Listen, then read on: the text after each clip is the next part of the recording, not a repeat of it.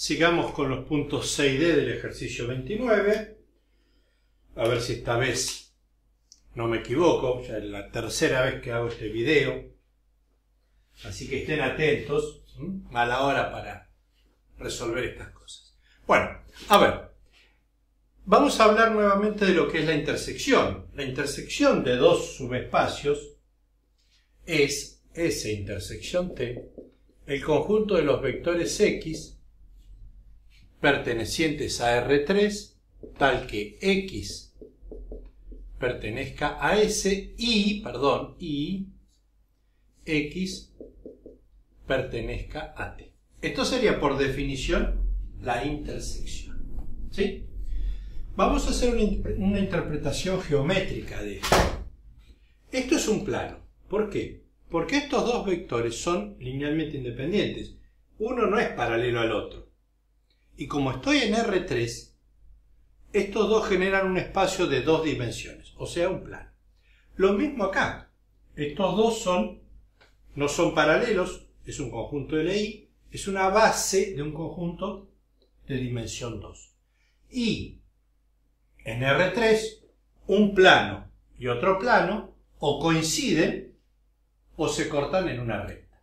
O sea que la si coincidiesen, si fuesen el mismo conjunto, la dimensión me va a dar 2. ¿Sí? Y uno dirá, pero si no se parecen en nada esto con esto, pero podría ser. Si este vector pertenece a este conjunto y este pertenece a este subespacio, coinciden. Pero bueno, vamos a verlo en las ecuaciones ahora. ¿Sí? Y la otra posibilidad es que sea la intersección una recta, dimensión 1. Vamos a plantear eso acá muy tranquilamente.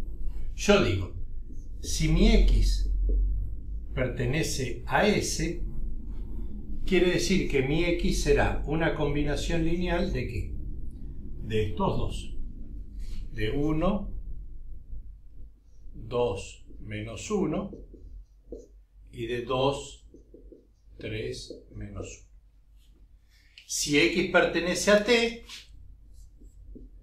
ese mismo vector tendrá que ser combinación lineal de este 0, 1, 1 y del segundo 1, 0, 2. Estos dos deben ser el mismo vector porque al mismo tiempo cumple las dos condiciones, así que voy a igualar. Este x es igual a este, todo esto es igual a todo esto, me queda alfa por 1, 2, menos 1 más beta por 2, 3, menos 1 igual gamma por 0, 1, 1, más pi por 1, 0, 2. Muy bien. De ahí voy a sacar un sistema de ecuaciones.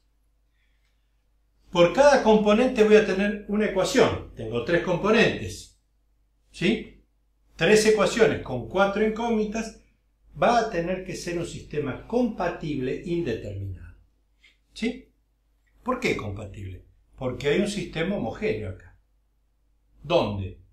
¿Dónde está el sistema homogéneo? Bueno, vamos a hacer las ecuaciones.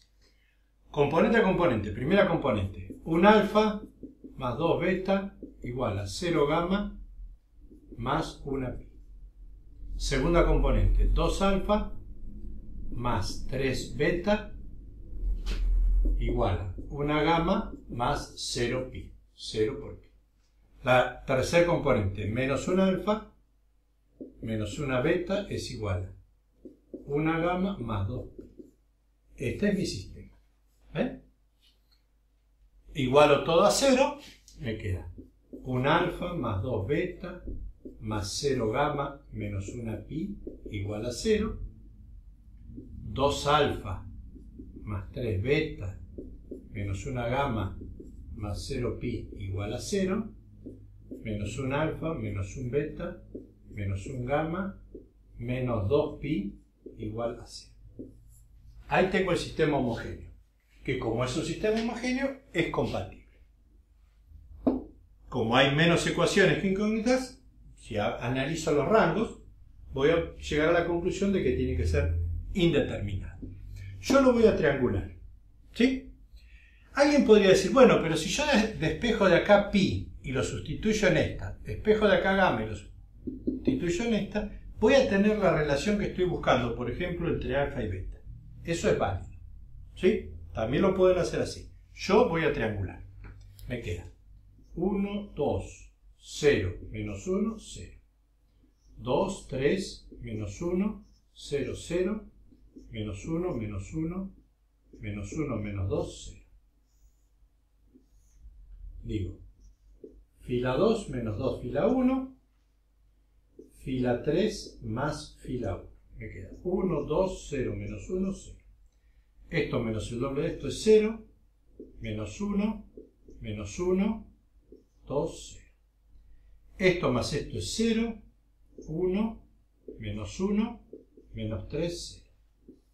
Y ahora digo, fila 3 más fila 2. 1, 2, 0, menos 1, 0. 0, menos 1, menos 1, 2, 0. 0, 0, menos 2, menos 1, 0. Hasta ahí está triangulado. Y de acá voy a sacar las relaciones que yo necesito. ¿Sí? Miren, de esta última. Yo digo que menos 2 gamma menos pi es igual a 0. O sea que pi es igual a 2 gamma negativo. Ya con esto puedo venir acá y ver de construir este vector. ¿Sí? Fíjense que voy a decir que mi x, o sea, el vector x es x1, x2, x3, es igual a gamma por 0, 1, 1, más pi, que es menos 2 gamma, o sea, este pi lo reemplazo por menos 2 gamma por 1, 0, 2. Si ahora saco gamma factor común, 0, 1, 1, menos 2 por 1, 0, 2, tengo que ese vector x es un escalar por 0 menos 2 por 1, menos 2. 1 menos 2 por 0, 1. Y 1 menos 2 por menos 2, menos 3. Eso sería un generador del espacio en cuestión. ¿Sí? Menos 2, 1, menos 3.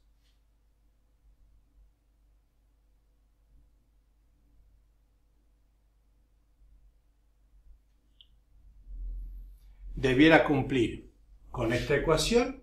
Acá hay algo raro. Ahí hay algo raro. Perdón, estoy equivocando de ecuación. Debiera ser una combinación lineal de estos, menos 2, ¿sí? Por esto, más esto. Ahí está. Está bien, listo. Este ya acabo de verificar que está bien la solución. ¿Sí? Porque fíjense que yo puedo decir que, a ver dónde está, acá. Si hago menos 2 por este, más 1, o sea, pi, pi era menos 2. Si gamma vale 1, hago 1 por esto, menos 2 por esto, supóngase que tomo gamma igual a 1, pi igual a menos 2. Poniendo un 1 acá me queda este vector. Puedo verificar 1 por 0 menos 2, menos 2. 1 por 1 menos 2 por 0, 1. 1 por 1 menos 2 por 2, que es 4, menos 3. Ahí está hecha la verificación. Debiera verificar también que este vector pertenece a este subespacio para quedarme tranquilo. O sea que existe un alfa y un beta, tal que la combinación lineal que habíamos planteado equivalga a esto. Acuérdense que estamos tomando este vector solo, o sea que consideramos que gamma vale 1. Si yo vengo acá y de acá despejo beta, de esta ecuación beta menos beta menos gamma más 2pi, me queda menos gamma más 2pi. Tengo que gamma vale 1 y pi vale menos 2, beta vale menos 5. Y si de acá despejo alfa, tengo que alfa más 2 beta menos pi es igual a 0, o sea, alfa es menos 2 beta más pi, menos 2 por menos 5, menos 2 me queda 8.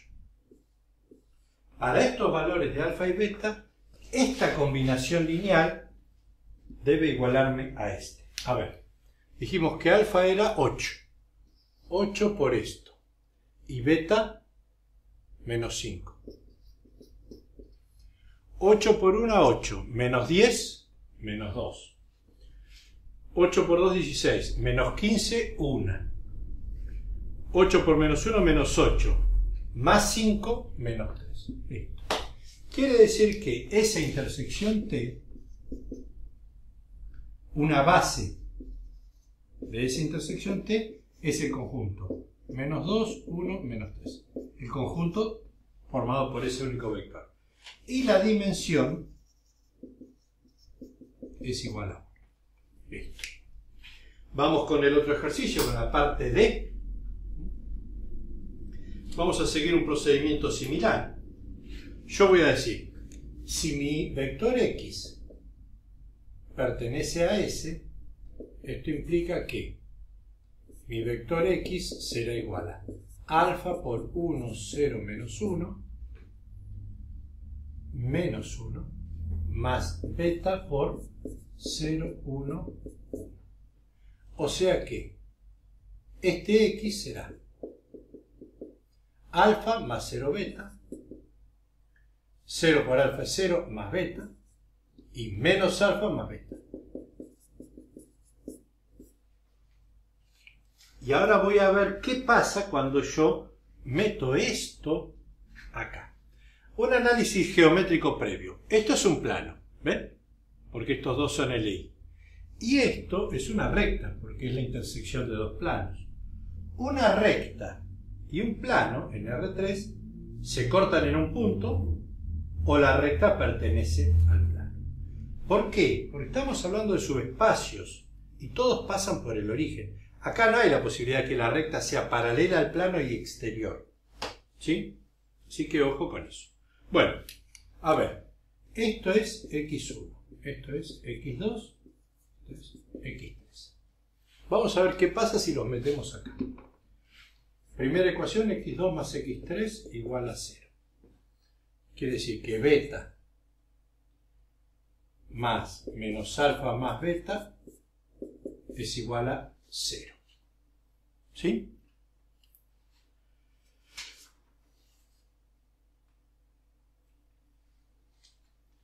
Me queda menos alfa más 2 beta igual a 0. Ahora la otra ecuación. x1 menos 2x2 igual a 0. x1 es esto. Alfa menos 2 por beta igual a 0. Que es la misma ecuación. Si yo multiplico esto por menos 1, tengo menos alfa más 2 beta igual a 0. O sea que con una sola de estas me alcanza. Y acá está la relación que necesito. Yo digo, alfa es igual a 2 beta. Esto lo voy a meter acá. Voy a decir que mi x es alfa 2 beta por 1, 0, menos 1 más beta, este, por 0, 1, 1.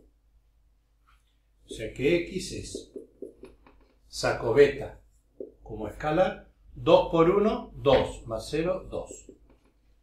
2 por 0, 0, más 1, 1. 2 por menos 1, menos 2, más 1. Ahí. Es una recta la intersección entre este plano y esta recta.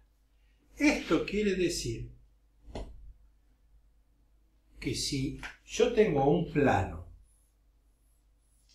y tengo una recta y la intersección entre el, entre el plano y la recta es una recta, no queda otra que t, que es la recta, esté incluido en ese. Ese es el plano. ¿Ven? A ver, este vector cumple con esta ecuación. x2 es 1, menos 1 es 0. x1 que es 2, menos 2x2 es 0. O sea, esto está incluido en el plano. Este es un generador de la recta y generador de la intersección. Podríamos decir así, que S intersección T, una base, que es lo que nos piden, ¿no? Es el conjunto 2, 1, menos 1. y también decir que esa intersección T coincide con T. Lo cual equivale a decir que T está incluido en S. ¿Sí? Si yo digo que T, está incluido en S, eso implica que la intersección de estos dos es T. Y la dimensión es 1. Dimensión de esa intersección T igual a 1. Muy bien. Ahí está el problema.